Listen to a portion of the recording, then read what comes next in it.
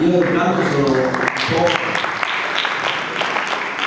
Io sono uno che di solito va fuori dagli schemi, eh, quindi mh, chiederei insomma eh, di offendersi ai miei relatori se oltrepasso questa staccionata, insomma, perché a me io ho sempre dato la lezione frontale sin dai banchi di scuola, quindi credo che lo commento debba essere il più interattivo possibile, senza ovviamente dei confini materiali. Non è concessa la parola.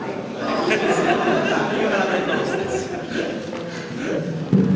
No, anche perché io sono uno abituato a parlare molto nelle scuole e vedo che eh, c'è sempre una tendenza, quella che dopo i classici 20 minuti l'attenzione cala, i ragazzi cominciano a sbadigliare e l'unica cosa che pensano, come credo ora molti di loro stanno pensando, finisce oppure che parla e via dicendo.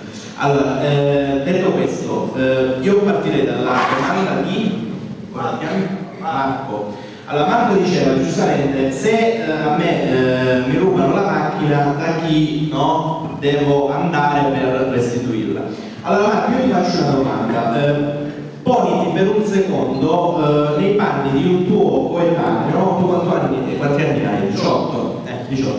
Poniti nei, nei panni di un tuo coetaneo di 18 anni che ha il padre che ha un negozio, eh, alle 10 del mattino di una settimana qualunque arriva un altro tuo coetaneo che eh, fondamentalmente chiede, in questo caso mettendoti nei suoi panni a tuo padre, di eh, poter proseguire insomma, la, la, la, sua attività a patto che eh, a scadenza mensile dia il 3% dell'utile dell'attività del Papa, cioè il, il 3%. Al mese, nel senso tu eh, guadagni tot, tu mensilmente a me, a me coetaneo sto arrivando nel negozio di tuo padre, mi devi dare il 3%. Domanda, perché? Perché? Perché io sono, giustamente come si diceva prima, il padrone. Io comando, io sono il re, tu sei il suddito, tu stai sotto di me e per questo sei costretto a darmi il 3%. Quando va bene, quando va male passi al 10, al 20, poi mi devi assumere un mio parente, poi ti acquisisco il locale e tu non diventi più proprietario della tua attività. Quindi cosa, cosa ti voglio dire io con questo? Perché io ho molto apprezzato la tua domanda, eh, pur essendo stata provocatoria, perché io penso che in un, come dice Don Ciotti, basta con me. Cioè noi dobbiamo cominciare a smetterla di avere da una parte relatori e da una parte una platea che ascolta. Io non sono venuto qui a raccontarvi la storiella. Io sono eh, venuto qui a trasmettervi un solo messaggio, che è quello di riappropriarci della nostra indignazione. Noi abbiamo perso la nostra indignazione. Oggi eh, siamo in, in, un periodo storico del nostro paese eh, ancora più grave di quello che fu Tangentopoli Prima nel 92 ci si scandalizzava, gli studenti si scandalizzavano se un politico riceveva un avviso di garanzia. Oggi arrestano consiglieri regionali, parlamentari, eh, diciamo, eh, politici inseriti nelle altre, nessuno dice niente, è tutto normale, tutto va bene. Eh, diciamo, siamo, eh, come dire, eh, la nostra mente è occupata a tutto quello che è superfluo, est esteriore, lustrini e paillette, mentre invece tutto quello che accade nel sottobosco della nostra società non ci interessa, non è particolarmente interessante. Ergo noi facciamo dei convegni in cui si parla di cose serissime come appunto la legalità, come appunto nelle autogestioni, noi nelle nostre scuole parliamo spesso di antiproibizionismo, di eh, la questione di fiuti, insomma tantissime cose interessanti, ma ci fermiamo lì. Eh, infatti questa oggi è la, ehm, personalmente la 32esima assemblea che faccio, eh, abbiamo iniziato a gennaio, ma è la 136esima assemblea che l'UDS fa in Italia. Ogni qualvolta io sono andato in una scuola, da Milano ad Agrigento, iniziavo sempre con questa domanda, che cos'è la mafia?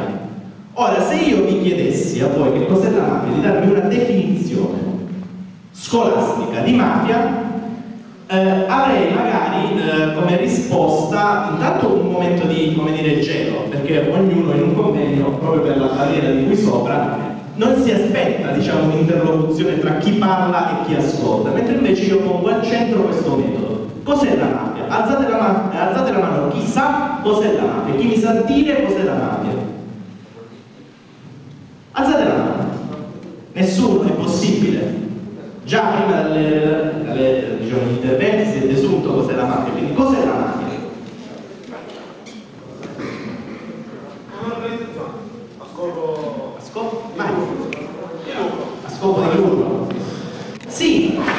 diciamo di sì, insomma. Però è un'organizzazione.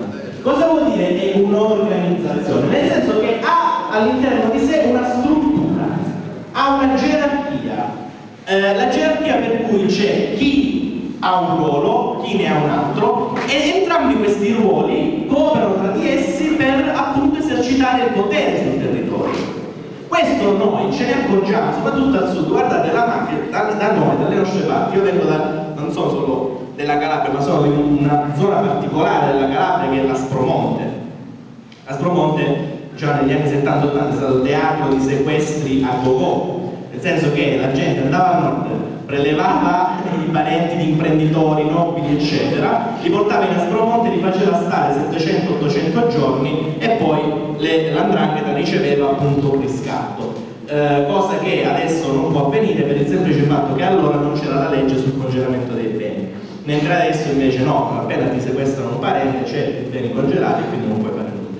Quindi arricchimento, quindi potere, quindi denaro. Secondo voi oggi siamo in una democrazia? Sì o no?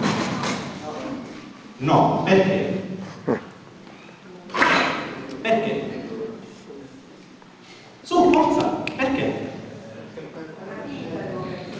È una finta, sì, ma il motivo?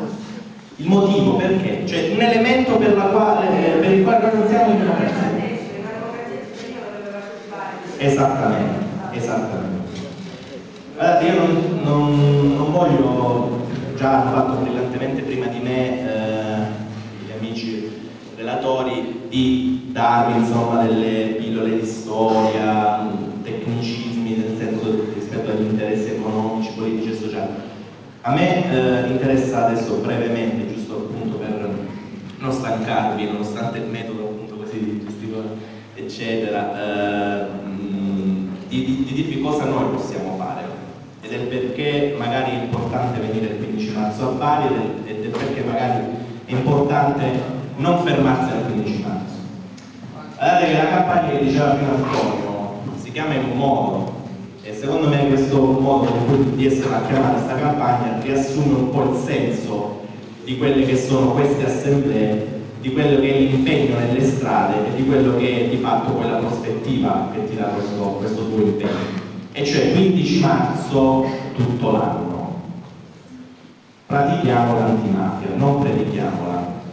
Per questo vi dicevo prima meno convegni e magari per esempio più gruppi di lavoro, ma anche l'attenzione stessa della scuola spesso in queste tematiche, che è una tematica fondamentale, perché guardate, parlare di mafie, di controllo mafioso del territorio, ti apre canali di discussione infiniti perché tu quando parli di eh, controllo mafioso del territorio, di cosa parli? Parli del tuo vivere quotidiano, parli del fatto che spesso vengono iniziate delle costruzioni di case, poi vengono lasciate lì anni e anni, salvo poi riprendere un progetto, fare la gara d'appalto, vincere la gara d'appalto e ancora speculare denaro pubblico. Significa il fatto che se in Colombia il boss di, eh, del Salento compra dal trafficante locale un chilo di cocaina grezza a 20 euro, la raffina, la taglia fino al 27%, la porta a 4 tonnellate e mezzo al mese in Italia e nelle piazze di Lecce, Milano, Genova e Torino un grammo, uno di cocaina costa 90 euro, da 20 al chilo a 90 al grammo. Sapete quanto fa il totale in un mese? Una finanziaria dello Stato. Ecco perché non siamo in una democrazia un solo filone, scusami un attimo, poi mm, fai la domanda, con un solo filone di interesse economico che è la cocaina, in un mese, le mafie, le quattro mafie, riescono a fatturare un bilancio dello Stato italiano. Chi di voi prende la borsa di studio pur avendone diritto? Alzate la mano. Ve lo dico io nessuno. Oggi il nostro paese non ha la copertura delle borse di studio per gli idonei. Cioè voi, pur uno studente, una studentessa, pur non avendo, pur